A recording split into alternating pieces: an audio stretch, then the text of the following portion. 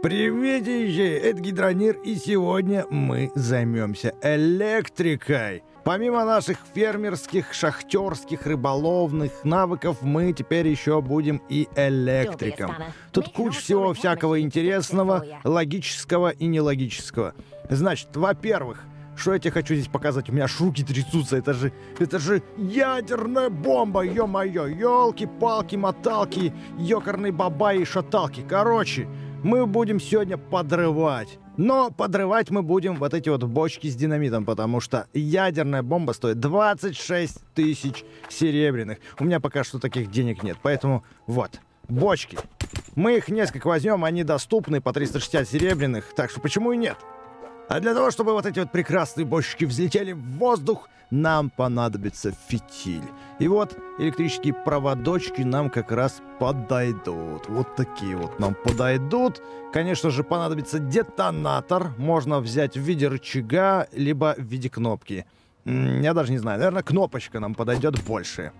Проводки возьмем вот такие, сякие. Можно еще, конечно, взять Т-образные.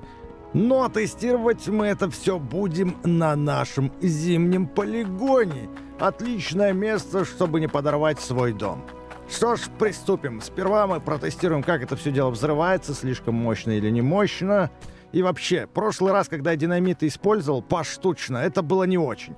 А тут целая бочка, и должно быть прям ух. Значит, теперь делаем фитиль.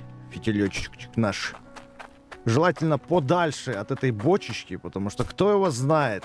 Бережено, Бог бережет, правильно? Так что это уже слишком я, по-моему, закапываюсь. Где там наш детонатор? Детонатор-то где? Черт подери, вот он.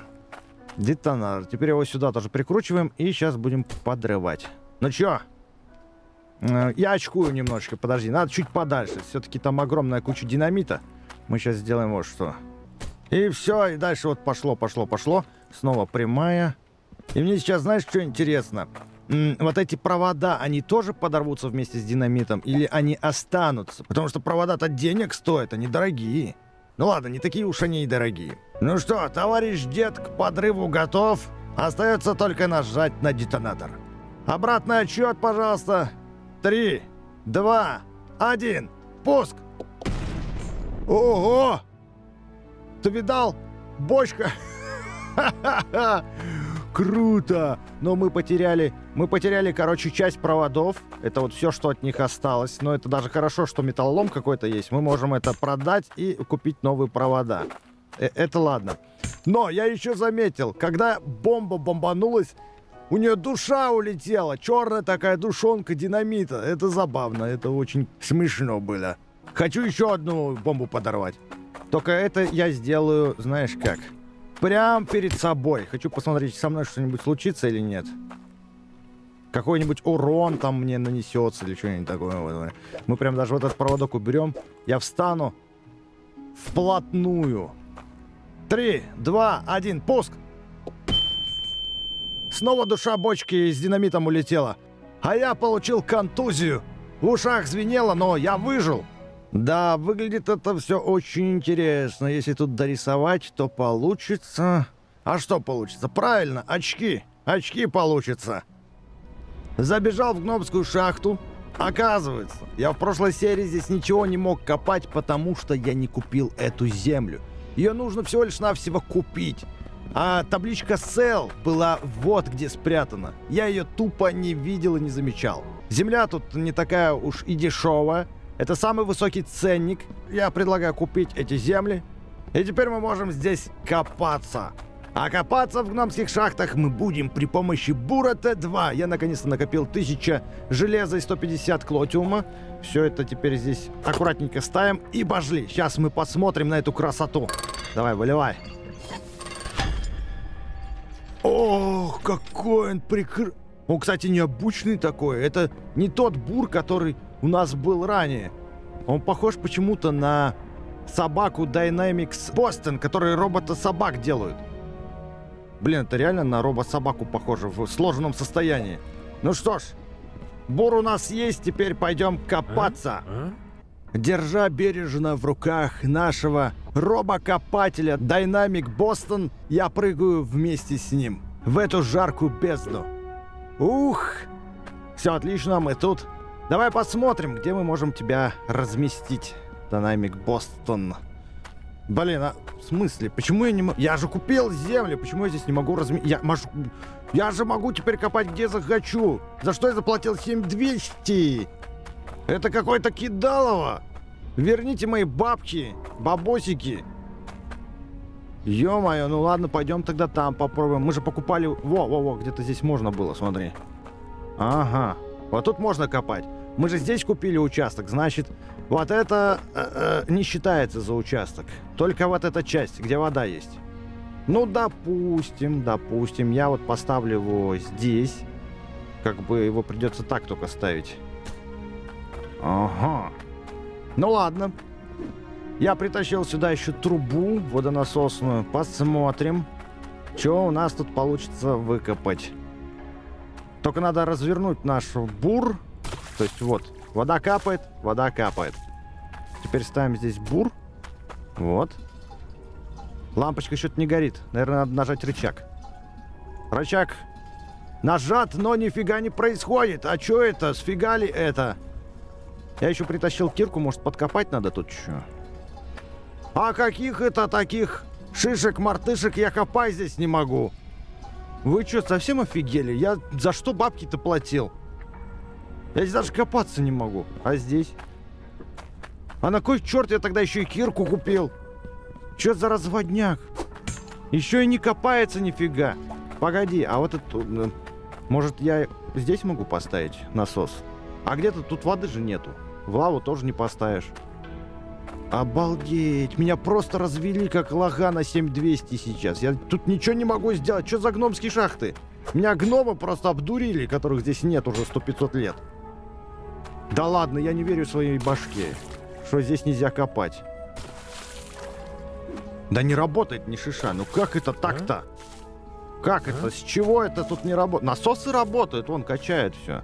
Где этот рубильник? Рубильник, блин. Даже не подкопать, чтобы рубильник в изначальное положение поставить. Повыше я не могу поставить здесь ничего. Какой-то... О, вот здесь вот можно, смотри-ка. Короче, я так полагаю, что здесь будет работать бур только третьего уровня. Потому что мы находимся очень глубоко, и наша робо-собака Dynamic Boston тут работать не будет. Она не подходящего уровня. Выходит, что в зимнем биоме ей самое место, наверное, будет. Но прежде я протестирую ее дома. Так что все. Едем домой. Здесь? Вот сюда скидываем. Будем дома тестировать. Я снова забежал в магазин электрики. Как-то странно, да, что в магазине электрики продается ядерная бомба и динамит. Ну ладно, мне это не важно, главное, что оно тут есть. Помимо взрывчатых веществ, я здесь хочу еще прикупить интересные штучки. Например, логический гаечный ключ. При помощи этой штуки мы сможем автоматически чинить свои трубы, и не только вообще. Так что мы ее берем. В нее нужно будет только засыпать гаечные ключи в этот вот кармашек. Дальше. Логические считыватели прочности. Это нам понадобится для того, чтобы понимать, насколько у нас поломались трубы. И если задать логику ко всему этому и привязать к автоматическим гаечным ключам, то как только у нас труба будет по прочности меньше 10%, там, допустим, 90% израсходовано, наши гаечные ключи автоматически начинают ее чинить. То есть все это в логику упирается. Логический контент читателя тоже нам пригодится. Так, а? он будет нам считывать... Сейчас я тебе скажу, что он там будет считывать нам. Э -э жидкое содержимое котла. Вот. Мы сможем без весов понять, сколько в котле у нас находится сейчас сплавленного железа или золота. Это очень классная штука. Логические весы еще одни, только работают они по-разному. То есть это контент считывает, а это считывает... Контент. Почему контент, не знаю. А это считывает м, руду, которая поступает по конвейеру. И он показывает сумму руды, которая пробежала сейчас по конвейеру.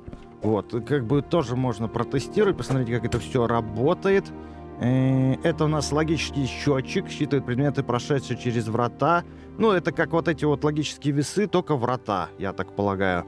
Потом у нас есть вот тут вот еще логические всякие штуки которые нам помогут настроить вон те механизмы. Потом вот это вот у нас что? Логический световой индикатор. М -м, пока нам это не нужно. Дисплей, логический считыватель Отображает логику, проходящую через подключенный кабель. Давай возьмем, я думаю, что нам это пригодится. Возьмем. Потом логическая лампа. Наконец-то у нас в шахте будет лампочка. Юху! Это мы тоже берем. Также тут есть еще логический магнит. Не знаю, где его применить пока что. Логический разрушитель, логическая плавильня и логический компрессор драгоценных камней. В общем, все это будет работать не от воды, а от электричества. И главный вопрос, как это все будет работать. Так как у меня нету электричества, у меня нет даже аккумуляторов, и тут они тоже не продаются. По проводам, что ли? От солнца, как? От э, небесной маны все это будет работать? Большой вопрос. Ну, вроде бы все собрал, теперь остается это все купить. Тащим сюда. Тележка пригодилась, классно ж. 3832, обалдеть. Возвращаясь на наш полигон, я решил устроить цепную реакцию из динамитов. Это будет колоссальный подрыв. Остается только грамотно сейчас разместить бочки и желательно прямиком к земле, или можно даже вкопать в землю. Я думаю, что так будет работать. В общем, расположил все вот таким вот образом. Остается все это дело теперь подключить. Подключить грамотно, показать свои навыки электрика который я приобрел путем самоучки. Надеюсь, я не подорву к чертовой матери всю эту планету. Пока я делал эту цепную реакцию, я понял, что она ни шиша не будет цепной, поскольку здесь нет логики. Провода подключены напрямую к динамиту, а вот если бы я там брал логические аппараты всякие, которые делают задержку в одну секунду, в две секунды, в три секунды, которые нужно было поставить перед каждой бочкой и назначить время подрыва этой бочки, то тогда бы получилась цепная реакция. А так, это сейчас все бомбанет разом, как только я нажму на кнопку. До меня это дошло только сейчас, к сожалению, но все равно это будет веселуха. Заключительный элемент — детонатор в виде рубильника. Ну вот и готова наша ядерно-коллайдеровая динамическая бомба. Круто, да, я завернул название? Выглядит мощно. Посмотрим, как бомбанет. До пуска 3 секунды. 3, 2, 1. Пуск! Эй! Ого! Ого-го! Ну, как бы прикольно, это прикольно, но я кучу проводов спустил в металлолом. Честно, я ожидал немножко более, как бы, э, массивного взрыва, но тоже неплохо. Теперь мне охота посмотреть на ядерный взрыв. Буду копить бабло. На дворе ночь, я вернулся домой. Будем тестировать новые штучки, но сперва надо поставить бур второго уровня, посмотреть, работает ли он вообще, может быть, он бракованный. Так, но прежде, прежде, прежде, лампочка, где здесь лампочка? Вот, мы же купили лампочку шахтерскую, нормальную, такую, блатную. Теперь в топку нам никакие факела не нужны. У нас есть электрические лампочки. Надо только придумать... Так, а погоди, у меня тут все остановилось. Надо сходить починить фильтр. Надо теперь придумать, куда эту лампочку шлепнуть. По идее, где-нибудь тут в серединке было бы неплохо. Если бы я ее поставил вот так вот. Да? Было бы неплохо, но для того, чтобы ее активировать, нам нужен рубильник или кнопка. Я купил, купил, купил, вот кнопочка есть у меня. Я ее купил, без нее никак. Э, чтобы ее поставить, нам нужно будет прокапывать где-то траншейку небольшую, либо делать дырку в нашем подземном потолке. Но тогда кнопка будет наверху, и чтобы включить здесь свет, мне нужно бежать наверх. Это не круто. Поэтому мы сейчас разместим пока что временно без проводов как-нибудь вот так. Вот так вроде бы неплохо. Может быть... Не, давай так все-таки оставим. Хотел ее развернуть, но пофиг. Вот так вот. Здесь у нас будет выключатель. И самое интересное, будет ли это все работать без электричества. Электричества же как бы и нету здесь. Аккумуляторов тоже нет. Вот, кнопка подсоединена. Снимаю шляпу свою. Вот. И нажимаю кнопочку. О, работает! Как это работает? На святом воздухе, на святом духе, что ли? Откуда ты берешь энергию с этой маленькой коробочки? Выключатель, переключатель? Вот, кстати, я... А выключить-то я не могу уже. Прикинь. Вот это да. А если я сниму? Все, лампочка теперь работает, непонятно от чего. Интересно, интересно. Мне, пожалуйста, ученых сюда. У меня тут, походу, полтергейст завелся электрический. Или как это еще описать, я не представляю вообще. Ладно. Пускай она светит у меня так. Это даже хорошо. Теперь уже давай посмотрим, работает ли наш бур в принципе. Я подготовил под него здесь местечко. Вот так вот мы его сюда вставляем. Хобана. Так, лампочка горит. Он активировался. И... Ну, все добывается. Ништяк. А по скорости, интересно, он быстрее, чем обычно или нет? Давай я сейчас их вырублю. Потом одновременно включу. Блин, нет. Одновременно не получается что-то у меня как-то. Теперь переходим к нашим вот таким замечательным штучкам, которые, которые нам должны показывать вес расплавленной руды. Ух ты! Ух ты, а что ты искришь-то? А как ты искришь? Ток появился у нас, ты представляешь? А он опасен, если близко подойти пупком коснуться. Не, пупку пофиг моему.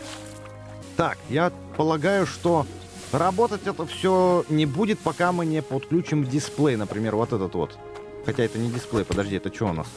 Это у нас э, логические весы, другие. А где у нас дисплей? Вот. Вот дисплей. Чтобы это все фурычило, нам нужен проводок. Подключаем его. И на него вешаем дисплей. Дисплей. Так. Давай смотреть. Что мы видим? Он показывает 5120... 124 уже. Железо. Давай проверим. Вот на этих весах проверяем. 5126. Нифига себе, нифига себе. Круто, классная штука. Можно теперь такую автоматизированную линию замутить. У меня масштабное логическое производство может получиться. Обалденная вещь. Очень классно. Мне теперь весы нафиг вот такие не нужны. Если я поставлю такие. Допустим. Давай посмотрим теперь вот на эти весы. Они, они, они работают от конвейера. То есть мне надо где-то разместить их. Вот, вот так вот. Сверху их разместить. То есть сверху он будет показывать. Смотри, считает. Считает количество руды, вес руды. Он считает вес руды, по-моему. Мне нужен кусочек. О, Клотиум там едет. Вот этот кусочек, смотри. 101 у нас тут. Я его кидаю сюда. Он, он выезжает, нет? Эй! Что там застрял-то? Ладно. 101 у нас тут. 107, вот так вот провожу. 109. Еще провожу. Давай. 110. 112. Он, короче, вес, видимо, показывает нам.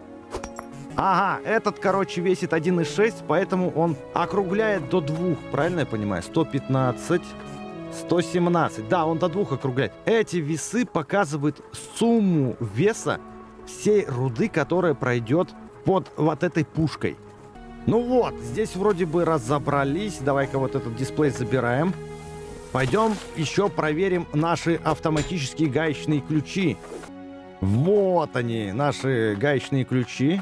Во-первых, нужно поставить там, где у нас фильтра уже сдохли. 13. Вот этот фильтр почти сдох. 60, 71. Вот, значит, мы его поставим чуть выше где-то. Где-то как-то... Типа как-то вот так, но он смотрит на вот этот фильтр. Вот в чем неудобность размещать фильтра на одной трубе. Угу. Давай-ка мы переместим, значит, фильтр наш. Вот этот вот, который почти поломан. Вот сюда. И также гаечные ключи автоматически сюда. Теперь он направлен на вот этот фильтр и должен его чинить. Но чтобы он чинил, нужны гаечные ключи. Погнали за ними. Теперь давай их запихивать как-то сюда. О, закинулся. Ничего себе. И этот сейчас тоже закинем. Вот, два. И теперь нужно как-то заставить эту штуку работать. Чтобы она работала, нам нужна прочность, понимание прочности. А эта штука как раз за прочность и отвечает. Ставим ее сюда. Электричество опять убегает. Так, если электричество убегает, значит сюда нужно дисплей подключить. Дисплейчик, ты где?